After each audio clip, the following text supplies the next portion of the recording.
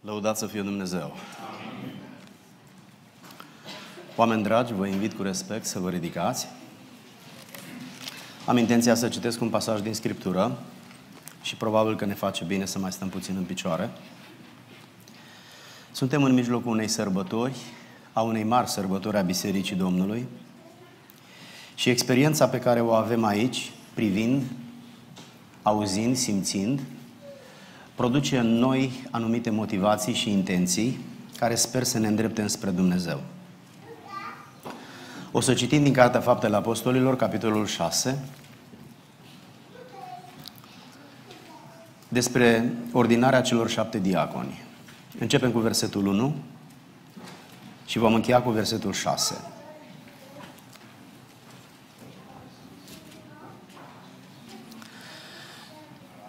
În zilele acelea când s-a înmulțit numărul ucenicilor, evreii care vorbeau grecește cârteau împotriva evreilor, pentru că văduvele lor erau trecute cu vederea la împărțirea ajutoarelor de toate zilele. Cei 12 au adunat mulțimea ucenicilor și au zis, nu este potrivit pentru noi să lăsăm cuvântul lui Dumnezeu ca să slujim la mese. De aceea, fraților, alegeți dintre voi șapte bărbați, vorbiți de bine, plini de Duhul Sfânt și înțelepciune, pe care îi vom pune în slujba aceasta. Iar noi vom stărui necurmat în rugăciune și în propovăduirea cuvântului. Vorbirea aceasta a plăcut întregii adunări. Au ales pe Ștefan, bărbat plin de credință și de Duhul Sfânt, pe Filip, pe Prohor, pe Nicanor, pe Timon, pe Parnema, pe Nicolae, un prozelit din Antiohia. I-au adus înainte apostolilor care, după ce s-au rugat, și-au pus mâinile peste ei. Amin. Tată, suntem aici o mulțime de oameni, am venit să stăm în fața Ta. Te rog, binecuvintează-ne. Lasă ca acest cuvânt să fie potrivit pentru conștiința noastră, să ne atingă sufletul, să provoace mintea noastră, Doamne, și să ne îndrepte cu sufletul înspre Tine. Binecuvântă fiecare persoană și în mod deosebit pe acești doi, alături de familiile lor, care vor fi dedicați în slujire înaintea Ta. În numele Domnului ne-am rugat și îți mulțumim că ne-ai ascultat. Amin. Stimații mei, vă invit cu respect să vă reașezați. Sunt bucuros să fiu și eu la această sărbătoare și mulțumesc cu respect fratelui Cosmin, păstorului bisericii, pentru invitație, pentru ospitalitate. De asemenea, vreau să mulțumesc familiei Peter pentru găzduire, pentru prietenie, Vă aduc salutări din partea Bisericii Betania, de unde eu vin, din partea păstorilor noștri, a membrilor bisericii. Vreau să îi felicit pe acești doi bărbați care astăzi vor fi ordinați, fratele David și fratele Andrei, alături de soțiile lor. Dumnezeu să vă binecuvinteze. Dumnezeu să așeze în voi lucruri care trec dincolo de serviciu de ordinare, de predici, de sfaturi, Aș vrea să rostesc uh, o predică cu ocazia acestei sărbători. Nu înainte să apreciez foarte mult uh, prezența fraților din bordul Uniunii, fratele Pavel și sora Liana, fratelui Corneliu și fiul lui. Apreciez că ați făcut efortul să veniți și împreună să slujim în Biserica Domnului, lucrarea Domnului să fie făcută cu responsabilitate, într-o manieră frumoasă care încurajează și binecuvintează. Oameni dragi,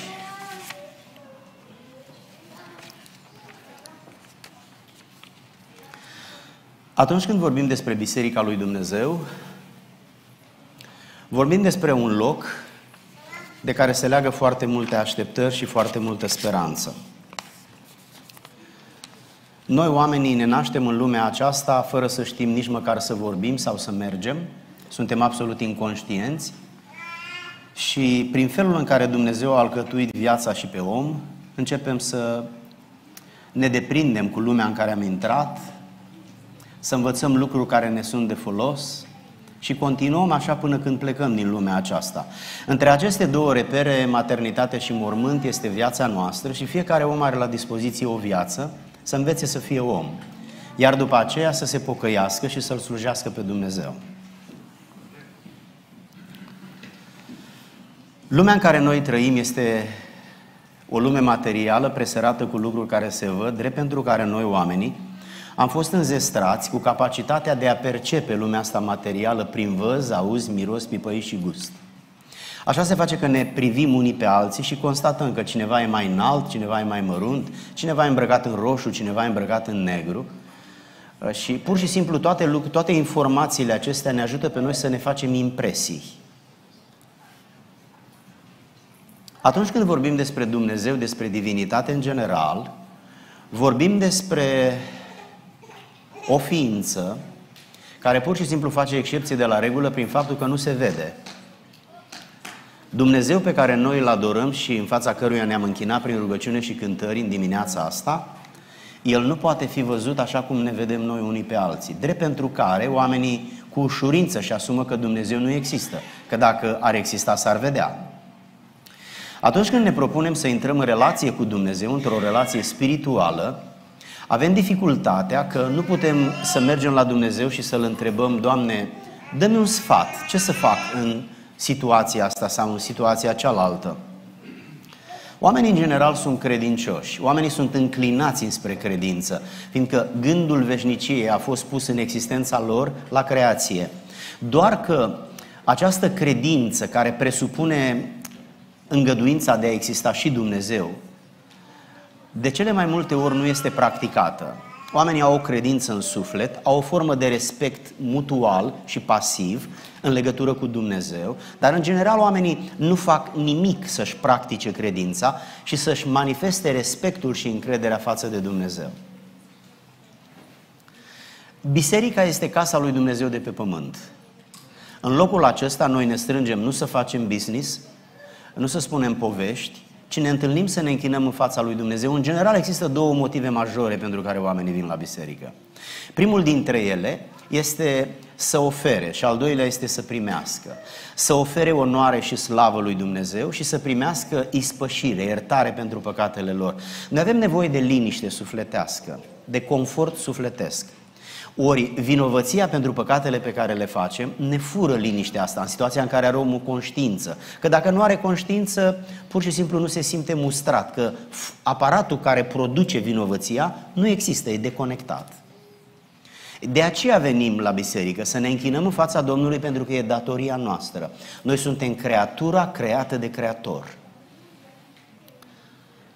Atunci când venim la biserică, așa cum am venit astăzi, întâlnim tot felul de evenimente care, dacă nu facem parte din peisaj în mod constant, ne surprind lucrurile care se întâmplă. De pildă, astăzi, este un serviciu divin în care doi bărbați, cunoscuți și respectați de congregație, de comunitate, de biserică, vor fi împuterniciți să facă oficii de slujire pentru frați și pentru surori în slujba de prezbiter și în slujba de diacon. Și cu această ocazie, cântările, rugăciunea și mai ales predicile se concentrează pe genul acesta de slujire, adică pe slujirea bisericii. Predica mea, plecând de la pasajul pe care l-am citit, are rolul să explice câteva lucruri, lărgind orizontul nostru, orizontul nostru de cunoaștere, de înțelegere, dar și aducându-ne aminte de ceea ce deja știam, făcând o conectare mai bună între toate lucrurile acestea într-un tot unitar. Primul lucru pe care ar vrea să-l constat este elementul care este, devine izbitor în pasajul pe care l-am citit, și anume prioritățile în slujire. Observați că acolo erau apostolii care predicau Evanghelia și la un moment dat apare o nevoie administrativă. Evrei care nu locuiau în Israel, după cum noi suntem români care nu mai locuim în România, când au revenit acasă, ei erau puțin neglijați, deși erau evrei, dar pentru că trăiau în imigrație, împrăștiați peste tot, ei nu mai erau cunoscuți și în consecință foarte respectați. Așa se face că văduvele evreilor erau neglijate la împărțirea ajutoarelor. Apostolii constată că există o neînțelegere care capătă proporții și ca niște oameni înțelepți se ridică în mijlocul bisericii și spun fraților, noi vedem că oamenii se ceartă între ei și cred că trebuie să venim cu o soluție care aplanează conflictul și rezolvă problema. Și el sugerează, pentru că nevoia este administrativă, noi nu ne vom ocupa de ea. De ce? Noi suntem consacrați să facem lucruri spirituale, să ne rugăm, să postim, să uh, predicăm Evanghelia și lucrarea aceasta este așa de mare încât dacă am face-o fără să dormim, ar fi puțin. De aceea nu vrem să ne împărțim și în lucruri administrative. Uh, voi rugați-vă și primiți călăuzirea Domnului și alegeți dintre voi, nu dintre alții, dintre voi, dar între noi nu există. Ba da, dintre ăștia care există. Alegeți dintre ăștia care există șapte bărbați și le sugerează uh, câteva criterii de selecție. Să fie vorbiți de bine, adică să aibă o reputație bună. Cine vine la o biserică unde oamenii sunt vorbiți de rău? La o pușcărie e normal să fie oamenii vorbiți de rău, dar la o biserică nu. La o biserică oamenii trebuie să fie vorbiți de bine și mai ales de reprezentanții bisericii. De aceea, reputația, o reputație bună, cinste, demnitate, este uh, absolut indispensabil. Apoi să fie plin de Duhul Sfânt. Să fii plin de Duhul Sfânt înseamnă să fii plin de Dumnezeu. Uh, este, școala este necesară, studiile academice sunt de dorit, dar oamenii care îl slujesc pe Dumnezeu nu slujesc doar în competența lor uh, profesională, nu doar în baza școlilor pe care ei le-au făcut. Există o putere care coboară peste slujitorii lui Dumnezeu. Este un duh care inspiră. Este un har care vine peste ei. Și pentru noi care ascultăm este ușor să ne dăm seama dacă există sau nu există elementul acesta supranatural.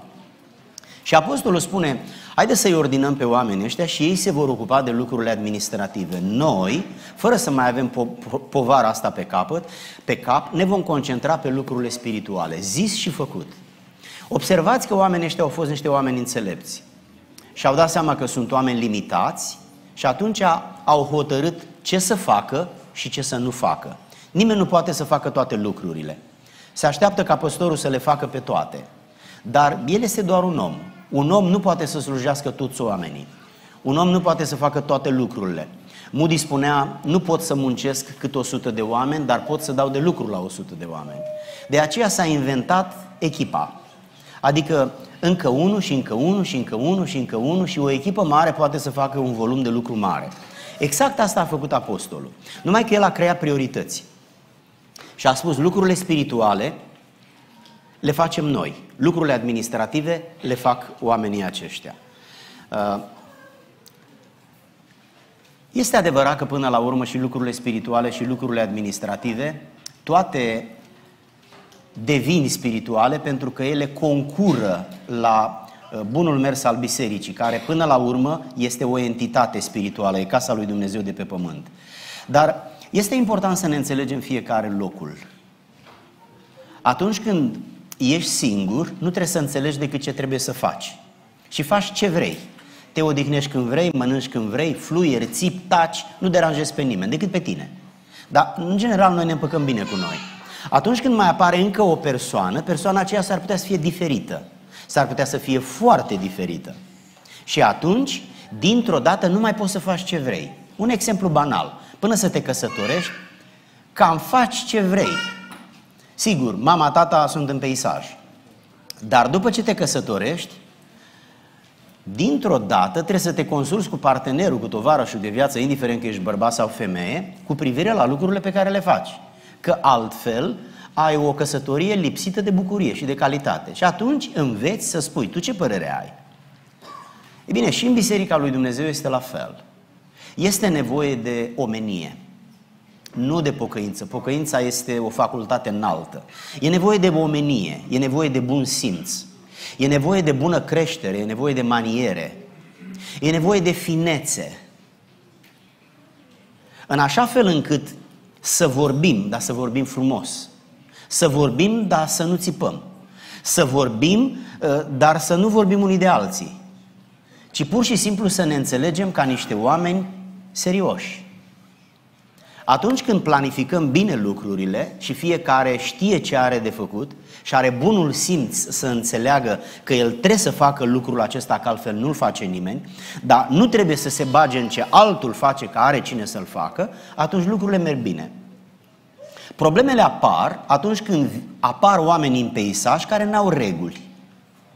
Oameni care sunt mândri și aroganți, Oameni care folosesc metode necinstite, neduhovnicești și nebisericești ca să-și rezolve problema. Datorită invidiei, datorită nemulțumirii și pur și simplu lucruri care se fac în lume sunt aduse în biserică și un singur om sau mai mulți oameni pot produce foarte multă vânzoleală și neînțelegeri. Știți cum e o familie? Cum o face soțul și soția. Știți cum merge o mașină? Cum o conduce șoferul. Știți cum este o biserică? În general, cum o face păstorul comitetul, dar cum colaborează toți membrii din biserică. Pentru că e suficient ca unul să nu fie un om serios și să bage râcă între frați și să umble cu vorbe nepotrivite, că toată adunarea este dată peste cap, indiferent de câți membri are ea. Atunci când mai mulți oameni trăiesc într-un loc, e nevoie ca acești oameni să fie niște oameni cinstiți, niște oameni decenți, niște oameni care înțeleg că persoanele care vin aici nu vin să se întâlnească cu noi, vin să se întâlnească cu Dumnezeu. Și noi nu avem dreptul să stricăm pacea acestei comunități și nici perspectiva acestor oameni care au venit să-L caute pe Dumnezeu. Unul e bolnav, unul e amărât, unul e întristat, unul are o problemă cu un copil sau cu altceva și îl caută pe Dumnezeu. Ei, o biserică care este bulversată nu mai are liniște, nu se mai, nu, nu, se mai, nu se mai concentrează pe lucrurile spirituale, ci pur și simplu nimic nu mai funcționează. Exact cum e acasă. Când ești certat cu nevasta, nimic nu mai are gust, nici cea mai bună mâncare. Pentru că noi oameni am fost creați să trăim într-o stare de bucurie, de relaxare sufletească, de înțelegere și de iubire. Și ori de câte ori starea asta nu mai există, noi nu ne găsim liniște. Nu ne găsim liniștea. Observați că apostolii au fost niște oameni înțelepți și au creat priorități clare. A spus, voi vă ocupați de lucrarea aceasta, vă asumați responsabilitatea, da, spor la treabă. Și noi ne ocupăm de lucrarea aceasta. Și lucrurile au mers bine.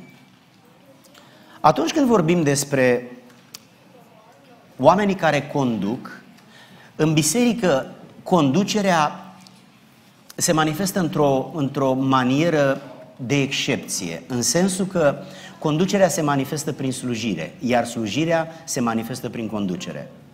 Hristos a spus că cei care sunt mai mari trebuie să fie mai mici, să se facă mai mici și să slujească tuturor. Nicăieri în lume nu există regula asta în afară de biserică. Hristos a făcut așa. El a fost Dumnezeu, s-a făcut om, a venit la noi și ne-a slujit. Atât de mult până când a murit pentru noi. De aceea în biserică nu există șefi, nu există directori, nu există barosani, în biserică există slujitori. Oameni care au dragoste, oameni care au răbdare, oameni care se simt că sunt trimiși de Dumnezeu, își asumă responsabilitatea aceasta și cu mult sacrificiu încearcă să îi iubească pe oameni, să ierte pe oameni, să înțeleagă pe oameni, să împace pe oameni, dar noi oamenii suntem limitați oricât de capabili și de competențe ar fi, am fi. Însă, această manifestare a autorității are cel puțin trei etape sau trei direcții. Prima dintre ele este manifestarea puterii. Manifestarea puterii se face întotdeauna prin daruri spirituale. Biblia vorbește despre foarte multe daruri spirituale. Ele vin de la Dumnezeu prin Duhul Sfânt și au rolul să manifeste în biserică tot felul de activități care trec de competența umană, trec de inteligența umană și de abilitățile omenești. Întotdeauna puterea se manifestă în biserică prin daruri. Autoritatea însă se manifestă prin slujire, prin slujitori, prin oficiile de slujire. De aceea, darurile nu pot conduce biserica, pentru că slujirea conduce biserica. Nu o persoană care are un dar sau altul, ci omul care are o slujbă sau alta. Faceți diferența între autoritate și putere? Bineînțeles, putere înseamnă o persoană, un bărbat puternic, care poate să ridice 100 de kilograme deasupra capului. El are autoritate sau putere? El are putere.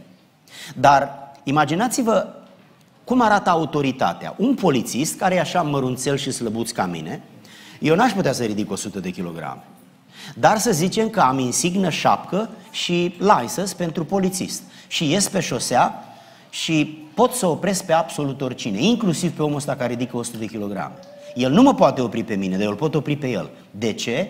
Pentru că în baza meseriei mele eu am autoritate. Asta este diferența dintre putere și autoritate, spus într-un exemplu foarte practic. În biserică, cei care conduc sunt slujitorii care sunt mandatați cu autoritate să conducă. Puterea nu este pentru a conduce, ci puterea este pentru a manifesta daruri. Și darurile sunt multe, multe, multe în Biblie și asta este o mare binecuvântare pentru Biserica lui Dumnezeu. Însă pe lângă putere care se manifestă prin daruri, autoritate care se manifestă prin slujire, inclusiv prin slujirea de păstor, prezbiter și diacon, este roada Duhului sau este caracterul care se manifestă prin roada Duhului. Vedeți, oameni care vin la biserică, ei au în mintea lor așteptări. Ei se așteaptă ca preotul, pastorul, parohul în general, să fie un om bun să fie un om blând, să fie un om răbdător, politicos, serviabil, să fie un om care iartă, care este plăcut, care este cald, amabil, te întâmpină cu un zâmbet, te întreabă ce mai faci. Dacă te cunoaște un pic, te întreabă ce-ți face familia, dar copiii sau nepoței. Și dintr-o dată te simți plăcut. Pentru că omul ăsta îți acordă atenție și îți dorești să mai vii în locul ăsta. Ei, iată dar de ce Oamenii lui Dumnezeu și cei care manifestă puterea și cei care manifestă autoritatea și oamenii din biserică, ei trebuie să fie niște oameni de caracter. Uh, vreau să spun destul de apăsat lucrul acesta. Suportul slujirii a celor care manifestă puterea și autoritatea întotdeauna este caracterul. Sigur, nu numai caracterul, și familia face parte din suportul slujirii. Să vă spun, dacă dumneavoastră ați fost mințiți o dată, de două, de trei ori de cineva care predică, mai puteți să-i ascultați predica? Eu știu răspunsul. Nu. Poate să predice mai bine decât Billy Graham, dar nu-l mai poți asculta pentru că s-a descalificat în fața dumitale nu ca predicator, ca om. Iar predicatorul, în primul rând, trebuie să fie om. Dacă nu poate să fie om, nu poate să fie nici predicator. Ei, de aceea, caracterul devine un suport al slujirii celor care slujesc. Indiferent că e manifestarea puterii prin daruri sau manifestarea autorității prin slujbe, caracterul este suportul care îți dă dreptul să slujești, care te împuternicește, care te califică. O persoană fără caracter nu poate să facă o slujbă într-o biserică. Poate să predice, repet, mai bine decât Billy Graham. Poate să cânte mai bine decât Celine Dion. N-are nicio importanță. Noi, noi, noi în biserică facem greșeli atunci când vedem pe cineva mai fâșneț. Hai să nu spun mai bun de gură că nu-mi permis să spun de aici. Dacă eram în altă parte, probabil că spuneam. Dar dacă cineva vorbește ușor, Uh, noi dintr-o dată îl tragem și îl împingem în zona învonului, crezând că abilitatea de a vorbi este singura, uh, singurul calificativ pentru a putea face slujba aceasta. Nu, nu aceasta este. Înainte de abilitate, mai importantă decât abilitatea de a vorbi, de a cânta, de a face anumite slujiri, este caracterul, o viață trăită. Pentru că Isus Hristos, înainte de orice slujire, a excelat prin sfințenie.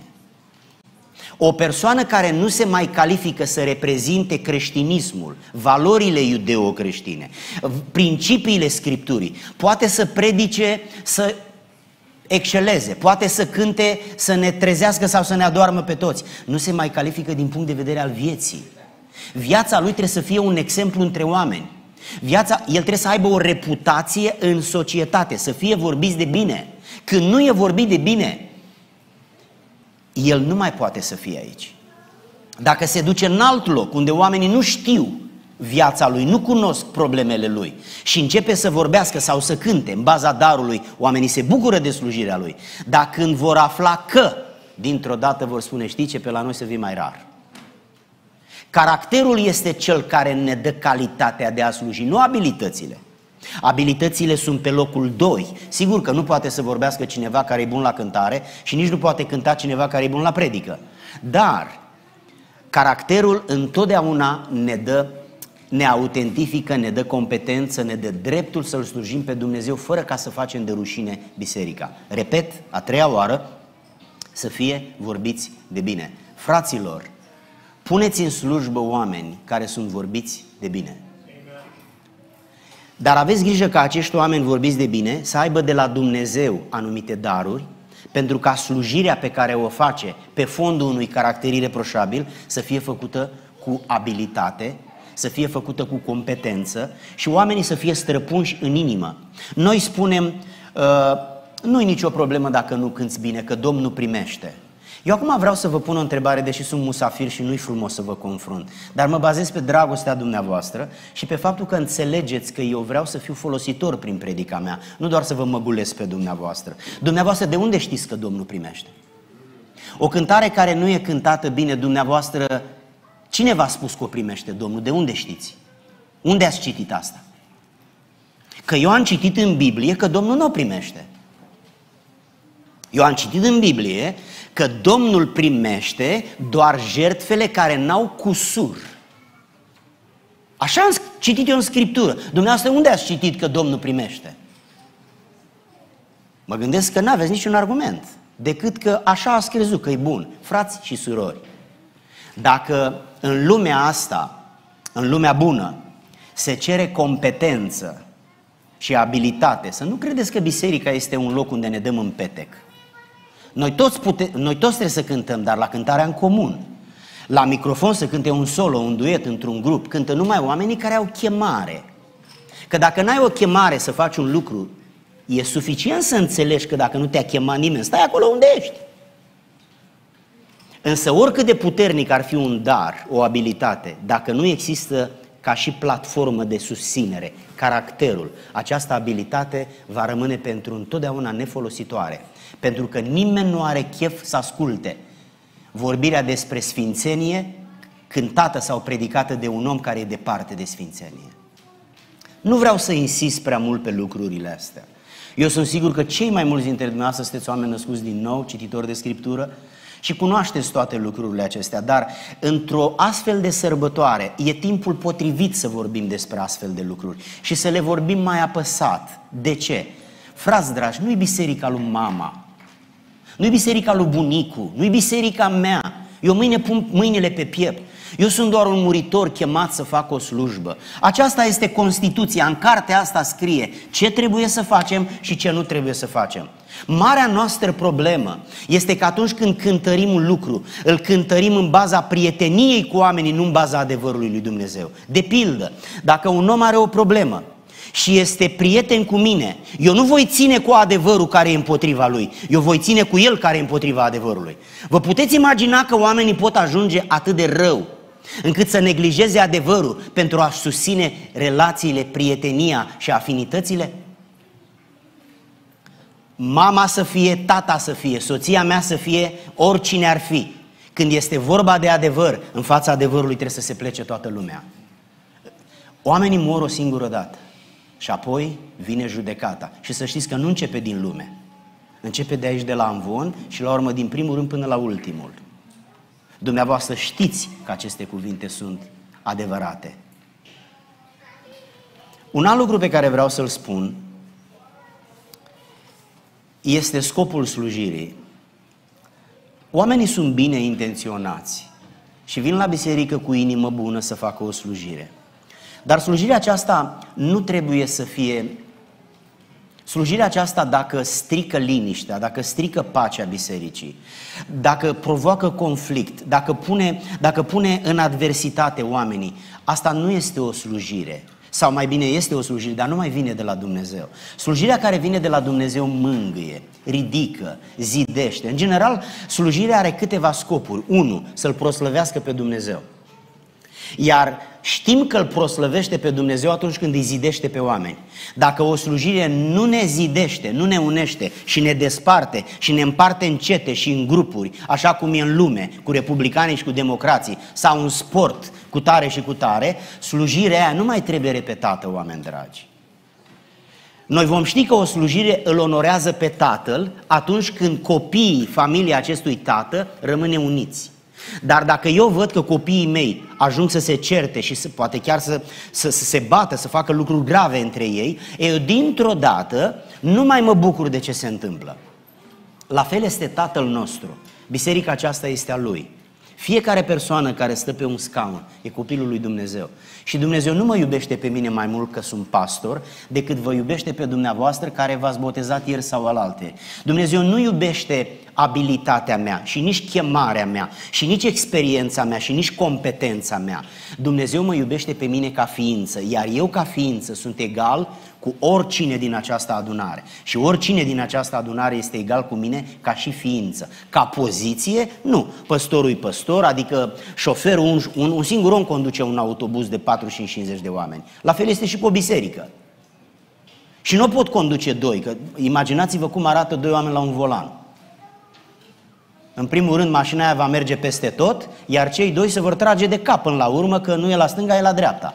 Când doi merg pe un cal, unul stă în față, să fie simplu, să fie limpede. Ei, ce am vrut să spun este că întotdeauna slujirea are drept scop să-L proslăvească pe Dumnezeu. De pildă, programul acesta pe care noi l-am făcut, cântările care au fost cântate, felul în care ne-am fost îndemnați să ne rugăm și tot ce facem noi are rolul să îl proclame pe Isus, pe Dumnezeu Tatăl, pe Fiul și pe Duhul Sfânt. Are rolul să proclame adevărul, să-l reafirme. Și are rolul să ne zidească pe noi, să ne învețe, să ne mustre, să ne mângâie, să ne ridice, dar în final să ne facă oameni de ispravă. Și de asemenea are rolul să mântuiască oameni. Acesta este unul dintre marele roluri ale bisericii. Când o biserică nu mântuiește oameni, nu mântuiește lumea, lumea secularizează biserica. Scopul bisericii este să conducă oamenii din lume la mântuire, iar scopul lumii este să conducă oamenii din biserică la secularizare. Secularizare înseamnă să devii lumesc, secular, firesc. O să mai spun câte ceva și o să mă apropii de încheiere. O să mai spun faptul că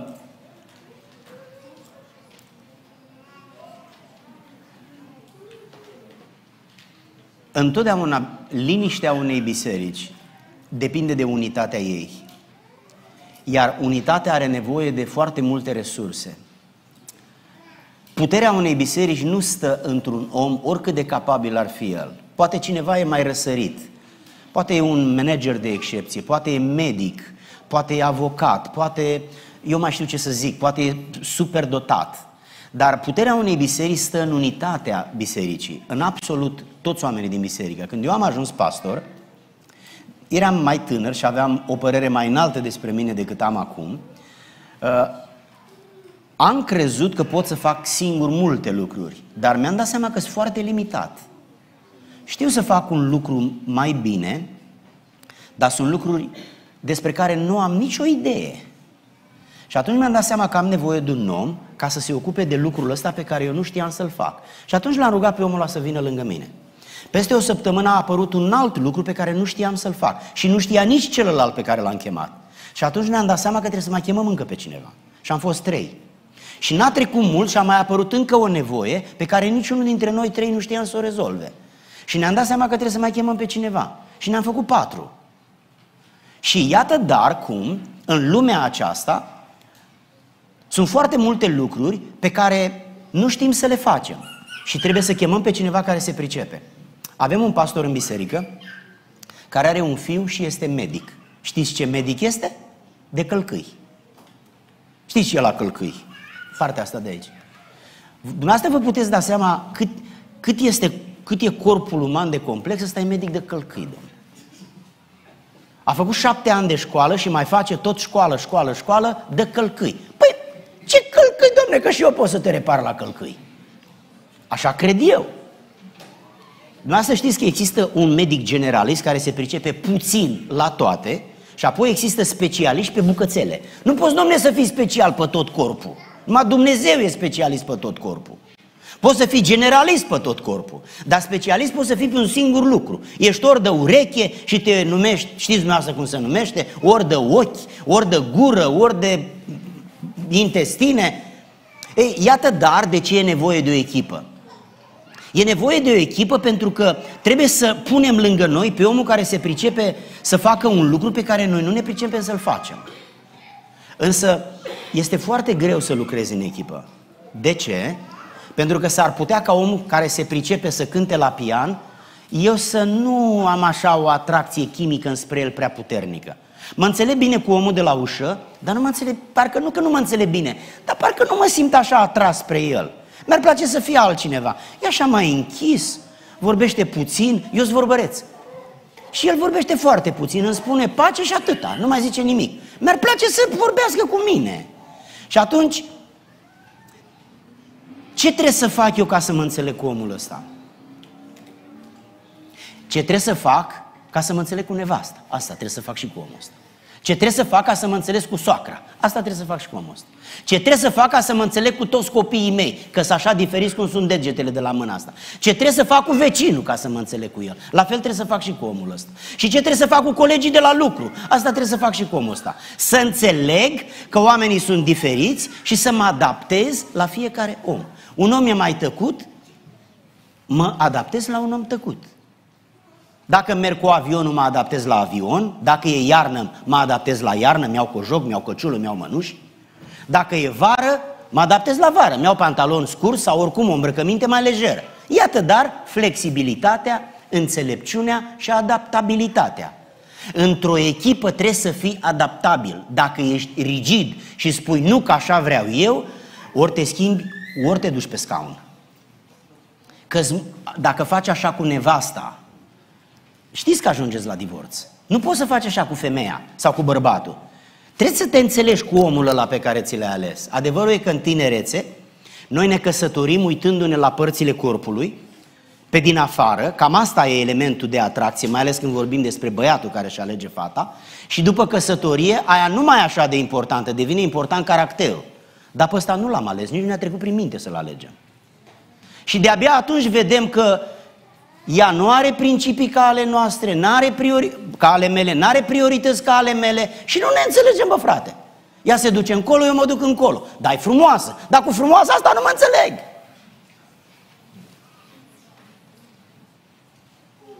Sau are bani băiatul, dar cu bogatul ăsta nu mă înțeleg. Tot la fel este și în echipă. Puterea unei echipe stă în flexibilitatea membrilor ei. O echipă are un lider, are un set de reguli și apoi fiecare echipă când pierde, nu pierde liderul sau primii doi. Când o echipă pierde, atunci când uh, pierde o echipă de fotbal, hai să dăm exemplul ăsta, că bărbații uh, pot să lucreze mai bine pe exemplul ăsta. Când pierde o echipă de fotbal, cine a pierdut? Portarul sau toată echipa? Toată echipa a pierdut. Când ești într-o barcă, nu-i da găuri. Că se scufundă cum atacul tot. Este foarte greu să lucrezi în echipă. Uh, frații mei dragi, David, Andrei, uh, faptul că sunteți pe băncile astea alături de soțiile voastre demonstrează faptul că această comunitate care stă pe rândurile din spatele vostru au văzut în voi prezența Domnului au văzut în voi mișcarea Duhului, au văzut în voi un spirit de sacrificiu mare și o dorință de a face efort, de a vă folosi resursele spre binele bisericii, dar în numele Domnului Isus. Și acesta e motivul pentru care ei au validat intenția voastră de a fi ordinați și iată-vă acum aici, în fața noastră, ca să ne rugăm pentru voi și să vă dedicăm în slujba de prezbiter și de diacon. Dar voi veți lucra într-o echipă. Și dacă unul dintre voi este mai, mai coleric așa ca și temperament, adică un om iute, tot ce face, face repede, pac, pac, pac, de scurcăreț. Nu sunt toți oameni așa. Nu sunt toți așa. Unii sunt niște oameni calmi, liniștiți. Domnule, un motor pe motorină nu-i pe benzină. Poți să înțelegi asta? Poți. Ok. E, atunci respectă motorul pe motorină și lasă-l să meargă tan, tan, tan, tan, ca un motor pe motorină și pe ăsta de pe, pe benzină, lasă-l să fie pe benzină. Nu, de, nu se face un motor de pe motorină pe benzină că vreau eu. Și nici că trebuie. Ăla așa e el. De ce e așa? Pentru că natura lui, prin natura lui, așa a fost el conceput să fie pe motorină. Ei, integrați-vă în grupul de slujire. Aduceți-vă aportul și aveți grijă întotdeauna când, în mod normal, trebuie să vă mișcați fără să-l vă loviți de nimeni. Dar uneori o să vă loviți de cineva sau altcineva se lovește de voi. Atunci trebuie să fiți atenți că această ciognire accidentală se poate transforma într-un conflict. Atunci trebuie să fiți foarte atenți. Primul lucru este să spuneți sorry. Dacă nu puteți să faceți asta, nu stați pe scaune potrivite. E nevoie de umilință. Asta nu înseamnă că ești prostuț, iertați-mă. Asta înseamnă că plătești prețul de a câștiga și pe ăla care e pe motorină și pe la care este pe benzină. Să fii un slujitor înseamnă să renunți uneori la dreptatea ta, la dreptul tău, la întâietatea ta. Faci lucrul acesta nu pentru că nu ai putea să te, să te impui. E bine să ai putere, dar e bine să nu o folosești. E bine să ai pistol, dar ar fi bine să nu-l folosești. Pentru că restul vieții vei trăi cu traumă că ai împușcat pe cineva. Uneori trebuie, dar nu poți să scapi de ce ai văzut, de ce ai simțit. Și de faptul că pur și simplu ai omorât un om, rău sau bun, a fost un om. Încercați să nu vă folosiți puterea. Dacă e posibil, încercați să nu vă folosiți puterea. Deși veți primi o autoritate astăzi, o autoritate care vă umilește și o autoritate care vă responsabilizează. Dar lucrul în echipă este cel mai greu lucru de pe pământ. Și cea mai bună dovadă, cel mai bun argument este numărul de divorțuri care atât de, e, e atât de crescut. O echipă în doi nu funcționează, fraților. Și la bază stă iubirea. Dar n-a fost iubire, a fost îndrăgostire. Că între iubire și îndrăgostire aproape că nu e nicio legătură. Sunt două lucruri absolut diferite. Oamenii se îndrăgostesc și au impresia că asta e dragoste. Și sigur că îndrăgostirea asta pleacă după ce se consumă actul intim și trec câteva luni și dintr-o dată te trezești lângă un străin cu care nu te potrivești la caracter. Și mai stai acolo, stai cât stai și până la urmă nu mai supor și te faci de rușine și pleci și ai terminat. De ce? Pentru că întotdeauna când trăiești cu niște oameni, ești aproape într-o echipă, indiferent că e vorba de familie, e vorba de serviciu, dar mai ales la biserică, aici unde oamenii nu sunt plătiți. Aici nu e nimeni plătit, totul se face din dragoste. Și omul care face efort, cineva să presupunem că cântă, face mult efort, se pregătește. E, omul ăsta are niște așteptări. Ascultați-mă, dacă puteți să mă suferiți, vă rog, mai suferiți-mă câteva minute. Ar fi bine să nu aveți nicio așteptare și așteptările să fie acolo. A, acolo. Aici nu e loc de așteptări, aici e loc de muncă. Așteptările nu se împart aici, frații mei. Dumneavoastră ce faceți, nu faceți în numele lui Luigi Mițoi. Dumneavoastră sunteți oameni duhovnice și știți că Dumnezeu va răsplăti. Eu nu înțeleg. Credeți că Dumnezeu va răsplăti sau nu? Că văd că într-o zi credeți, într-o zi nu mai credeți. Într-o zi vreți să vă răsplătesc eu. Cu ce să vă răsplătesc eu, mă, oameni buni? Nu așteptăm noi ziua cea mare când toți vom fi răsplătiți. De unde vin atâtea așteptări și atâta simandicoșeală și atâtea pretenții și atâta nemulțumire? Eu am crezut că dumneavoastră vorbiți serios când spuneți că am venit aici să-L cinstim pe Iisus. El e singurul important, El are toată autoritatea, doar pe El îl cinstim, nu pe oameni. Când de fapt dumneavoastră îmi cereți mie să fac excepție de la regula asta. Trebuie să cinstesc fiicele dumneavoastră, soțiile dumneavoastră, băieții dumneavoastră, pe dumneavoastră înșivă. Asta nu mai seamănă biserică, scumpii mei. O biserică e biserică când Dumnezeu e proslăvit. Noi suntem robi, fiecare face ce poate, ce știe pentru onoarea lui Dumnezeu, dar nu avem așteptarea de a fi recompensați aici. Cu ce mă puteți dumneavoastră recompensa pe mine pentru efortul care l-am făcut eu sau eu pe dumneavoastră pentru efortul care l-ați făcut? Dar nu avem, nici nu trebuie să facem asta unii față de alții. Pentru că noi am făcut în numele Domnului. Când un om face un lucru în numele Domnului, el nu trebuie să fie recompensat. Îi spui mulțumesc pentru că ai obraz, pentru că ești bine crescut, că n-am crescut în pădure. Dar eu nu pot să recompensez pe nimeni pentru ce a făcut. Am ajuns la familia uh, Peter la, la, la, nu știu cât era, unu, două, azi noapte, și am vrut să mă duc în dormitor, că nu mai puteam de somn și spune, hai la masă. La masă? Mi-a fost rușine, la ora asta la masă? La, la ora asta oamenii dorm de câteva ore. Nu, hai la masă, ce nu poți să te culci nemânca la noi în familie. A venit sora, avea impresia că este lunch. Ei, acum, pot să uit gestul ăsta? Nu pot să-l uit. De ce? Pentru că a fost un gest de dragoste, de efort, de sacrificiu. Dar ce aș putea eu să fac? Cum să le răsplătesc eu pentru ce au făcut? Că eu le spun mulțumesc și am plecat. Dar ce mulțumesc? Un cuvânt, mă mulțumesc. Mi-am deschis gura, pac, mulțumesc. Ei, Dumnezeu nu le va spune mulțumesc, Dumnezeu îi va răsplăti. Oameni dragi, eliminați așteptările, că așteptările noastre provoacă certuri, conflicte și dezbinări. Și asta demonstrează că am slujit pentru alte motive. N-am slujit cu modestie, n-am slujit cu smerenie și n-am slujit pentru slava Domnului. Am slujit pentru alte motive. Scumpii mei, nu faceți așa. Pentru că dacă pentru o viață personală trăită în păcat te duci în iad, ca să ajungi o căpetenie și să distrugi o lucrare și să întristezi și să strigi reputația Bisericii lui Dumnezeu, este mult mai complicat. Asumați-vă responsabilitatea, nu doar de a predica, asta e ușor, nu doar de a conduce, asta este o onoare. Asumați-vă responsabilitatea să acceptați să pierdeți să renunțați, o să auziți despre soțiile voastre că vorbite de rău, o să auziți despre copiii voștri, că copiii voștri trebuie să se nască adulți, n-au voie să se joace și n-au voie să, fie, n-au voie să greșească. Ei trebuie să se nască oameni mari cu pașaport în buzunar. De fapt, pașaportul ai la naștere. Mă refeream la buletinul din România, dar nu se mai potrivește exemplu. Ce am vrut să spun este că tot ce am spus noi astăzi este în mod deosebit pentru voi. Sunteți alături de soțiile pe care vi le-ați ales, pe care vi le-a dat Domnul, tu ai doi copii, am înțeles că fratele Andrei are cinci copii. Biserica aceasta care astăzi v-a dat votul ca să fiți ordinați, are așteptări. Se va uita la voi ca la niște exemple, ca la niște modele, ca la niște căpetenii, ca la niște generali care dau niște comenzi clare.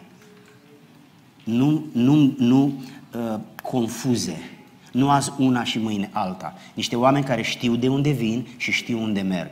Biserica asta va merge după voi, să mergeți drept. Să mergeți spre Dumnezeu.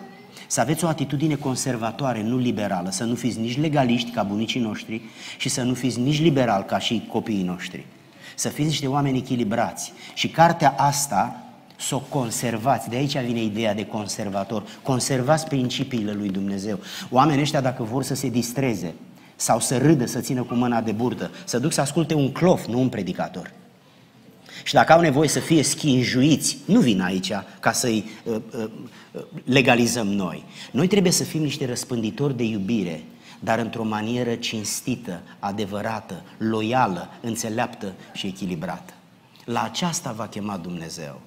Voi știți foarte bine lucrurile astea, dar astăzi este ziua în care știm că altfel se lipește de sufletul vostru cuvintele și învățăturile astea. Noi nu vi le spunem de pe o poziție înaltă, deși poziția noastră este mai înaltă, dar noi ca ființe suntem de, la fel de vulnerabili ca voi. Absolut la fel de vulnerabil ca voi. Chiar dacă suntem mai în vârstă, suntem făcuți din același aluat. Uneori greșim, uneori uităm, uneori ni se întâmplă să păcătuim. Suntem niște oameni imperfecți care ne luptăm cu firea noastră pământească pentru a desăvârși sfințenia noastră și a-L onora pe Dumnezeu și a cinsti adunarea, a zidi adunarea. Surorilor, uh, poate că ar fi bine să vă dau o sugestie, dar n-am nicio sugestie pe care nu o știți. Pe toate le știți. Nu o să vă fie ușor, pentru că oamenii ăștia vor pleca de acasă mai mult decât până acum. Pentru că nu poți să fii pastor de la 8 la 4. Oamenii se îmbolnăvesc și după 4. Ungerea cu un de lemn se face și noaptea. Oamenii se ceartă, au conflicte, au probleme, nu mai țin cont de oră și de program. Aici este vorba de a fi dedicat lui Dumnezeu. Să nu le impuneți să vă, să, vă, să vă spună mărturisirile și nici ce s-a discutat la ședințele de comitet. Nu glumesc, sunt foarte serios. Încercați să respectați sanctitatea slujbei soților voștri. Pentru că nu i-a chemat cultul pentecostal sau Uniunea, fratele Ionescu. Nu, ci i-a chemat Dumnezeu. Aveți respect pentru oficiul soților voștri. Manifestați, manifestați reverență față de chemarea lor și ajutați-i de asemenea, susține slujirea lor prin exemplu vostru personal, că spuneam mai devreme, ei își pot pierde dreptul de a sluji prin pierderea caracterului lor, dar își mai pot pierde dreptul de a sluji prin faptul că voi deveniți niște persoane care nu mai sunteți nu mai, nu, nu mai sunteți finte, nu mai sunteți decente, ca îmbrăcăminte, ca și comportament, ca și absența bârfei, ca și multe alte lucruri stați alături de soții voștri, noi nu vă ordinăm pe voi, dar ne vom ruga și pentru voi alături de soții voștri, pentru că ei nu vor sluji singuri. Trebuie să se ocupe cineva de copiii voștri când oamenii aceștia pleacă. De aceea noi ne vom ruga și pentru voi să primiți răbdare, să primiți har, să primiți înțelepciune și biserica aceasta să aibă mult câștig, mult folos, pentru că v-au ales să fiți două căpetenii, dar două căpetenii care conduc slujind. Acest gen de conducere nu există nicăieri decât în Biserica lui Dumnezeu. Să vă facă Dumnezeu folositori și să vă păstreze folositori. În încheiere, pentru că am uitat în introducere, permiteți-mi, vă rog frumos, să vă aduc salutări din partea președintelui Uniunii Pentecostale, fratelui pastor Cristian Ionescu. El nu a putut să vină, m-a rugat pe mine să vin împreună cu frații, am venit, dar este o datorie de onoare din partea noastră să vă aducem salutări, salutări sfinte și dragostea mai mare lui nostru în Domnul. Dumnezeu să vă binecuvinteze!